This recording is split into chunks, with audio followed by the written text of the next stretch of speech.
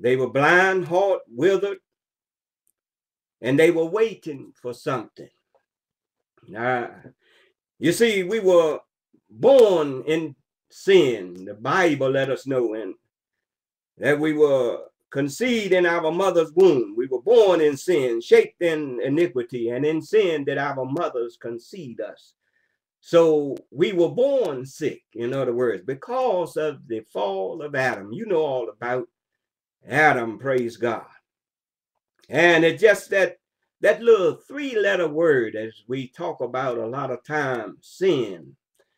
No too many people like to talk about sin. We rather talk about everything else but sin. Sin is the problem with the world today because the Bible let us know that even the uh, wedges of sin, yeah, the very wedges of sin is death. But the gift of God is eternal life. So we see from the beginning, uh, because of Adam, uh, the world was put in sin. All the people that were born after, we were born in a world of sin. Sometimes, as I was saying, we don't realize, people today, they don't realize that uh, we are in sin.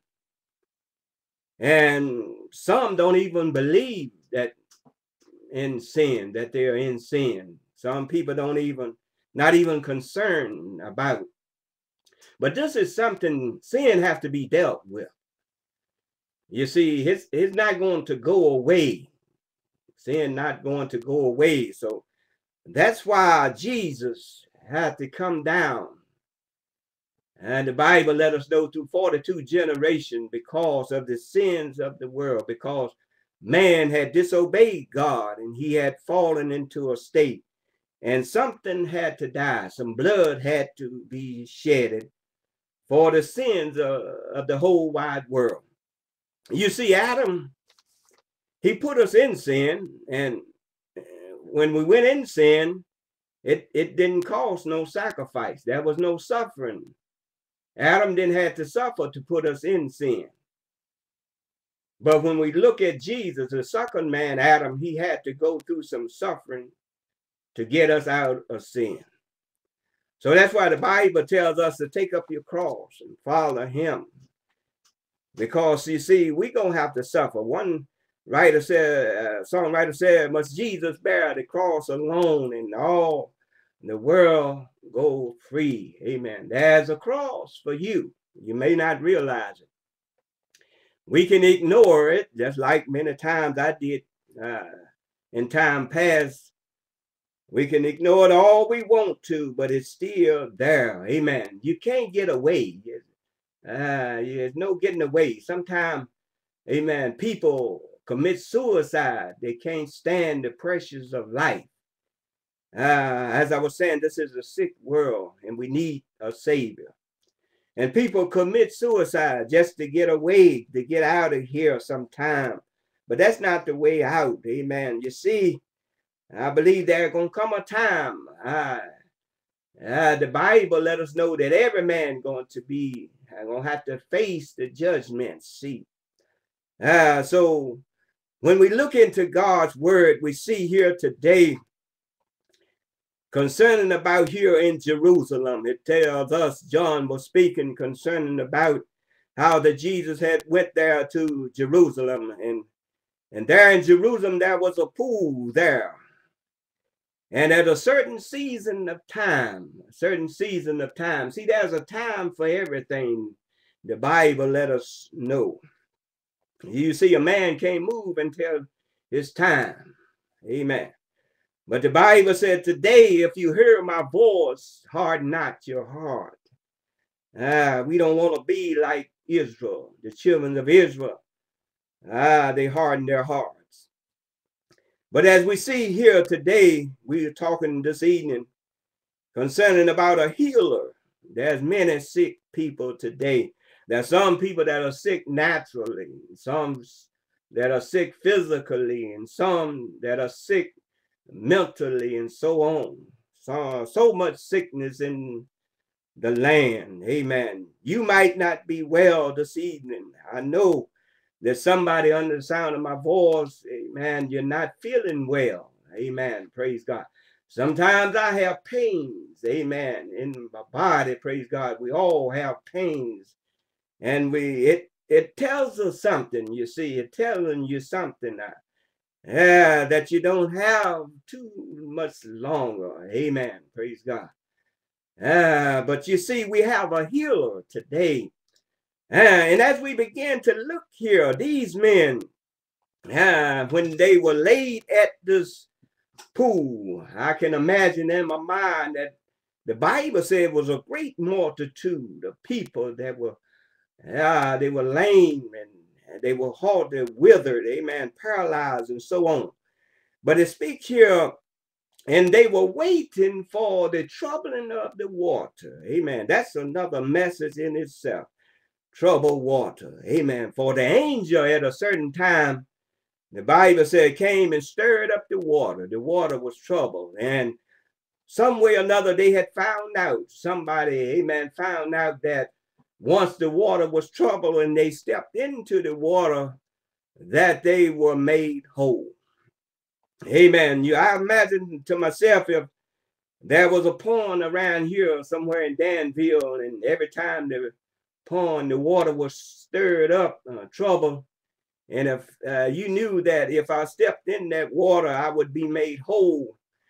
Ah, amen. The hospital wouldn't have too many people there. They would all be hanging around that pool, ah, waiting for the trouble of the water. Amen. You see, we don't like to be sick. Don't nobody like to be sick. Amen. But I want to let you know, amen, as we go through this word of God, we all born sick. Amen. We're born in sin. That's the sickness of sickness. Amen. Ah, praise God. Amen. Uh, to, to be in sin. Amen. To be sick in sin. Amen. See, we were uh, we were all born, as I said, we were born blind. Amen dead. Amen. I believe, but the Lord have quickened some of us. Amen. Praise God. Uh, so this is the, the worst, worst sickness we can have, amen, on us, uh, is to be in sin. And what make it so bad is people, uh, they have gotten used to being in sin, seem like, amen. So many don't want to get rid of their sins. I know how it is, praise God. Uh, for I was the same way, amen. You know, ah, doing my thing, amen, trying to please ah, the flesh and wasn't doing anything because you can't please this flesh. See, you, the more that you give your flesh, the more it's going to call for. Amen. Praise God. Yeah, but as I was saying here, we're in a sick world. We're in a sick world. Uh, people doing everything now. Amen. You're not safe nowhere. They trying to make it safe. Amen heard them talking about it today, praise God. But uh, our only safe, amen, is in Christ. Amen. He is the one. I believe the Bible let us know that uh, he have a, a camp of angels as camped around about us. Amen. It's our protection. Uh, but they're seeking, amen, to be safe. Amen. Praise God. But you see, they don't realize, amen, where the safety comes from. Uh, they reject the Lord. Amen. Praise God. But we need to turn back uh, to the Lord. And as we see, as we go on down in our lesson this evening, just talking to you, amen, while you in the rain, amen, or sitting in your home, amen, praise God. That was a certain man uh, out of all these people. The Bible speaks of this certain man that was there, and his condition, he had been in that condition that he had for 38 long years. That's a long time. Amen. Ah, ah, to be in sin. Amen. Some of us, ah, you going on up there in age. Amen. You ah, done past the 50 mark. Ah, and you still sick in sin. You walking around, you don't have pains, maybe, amen, but uh, you're still sick. Amen. Praise God. Because we were born in sin. Amen. Praise God. So now, amen, it's getting the time, amen, for us to make a change. But this man, as I was saying, He was sick 38 long years, a long time, longer than the woman that had her issue of blood for 12 long years. Amen. But when we look at 38 years, how old are you this evening? Amen. I know somebody around that age. Ah, praise God. Amen. 38 long years. Ah, you've been in sin. You haven't repented yet of your sins. Amen. Somebody older than that. Amen. Walking around 50, 60, 70, 80. Ah, going up there a little higher. Ah, 90 years old. Amen. Haven't repented of your sins. Amen. Ah, praise God. As I said before, the Bible said that the wages of sin is death. Amen. Ah, but the gift of God is eternal life. Amen. Time to repent. Amen. Ah, because see, there's a healer ah, that have came on scene. And we find here that this man, ah, he was sick, amen, all these many years. Somebody ah, brought him there and they laid him.